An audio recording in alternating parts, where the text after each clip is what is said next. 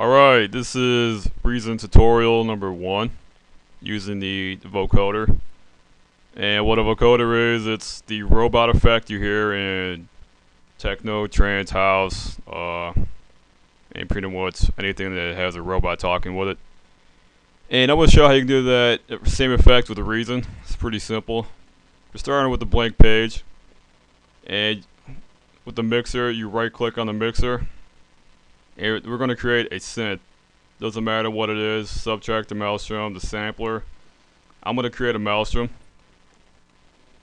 You go down to the Malström, right click, create, digital vocoder, and that creates the uh, vocoder. Go back to the Malström, right click, create, matrix pattern sequencer.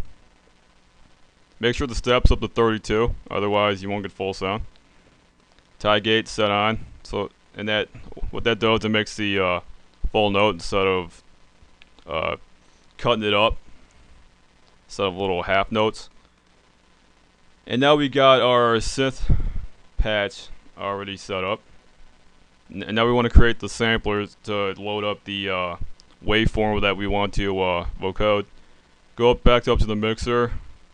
Create. I mean, right click, create and then 19 digital sampler.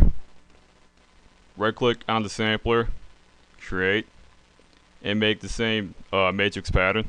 Same thing, 32. Make sure tie gate is set on, and do it for the entire sequence. And make sure the vocoder is set on. Modulation is set all the way up, 32 band.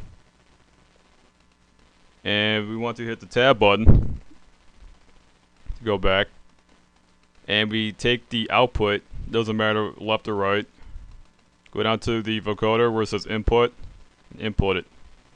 And we'll need to do it from the vocoder up. And make sure that the other audio output from the sampler is out, otherwise it's not going to work. Hit the tab button again to go back to front view. And now we want to load our patch. Doesn't matter what. And we go back up to the sampler, we hit the wave, button, browse sample button, to load in our sample to be vocoded. Already got one selected. You hit play button to preview it.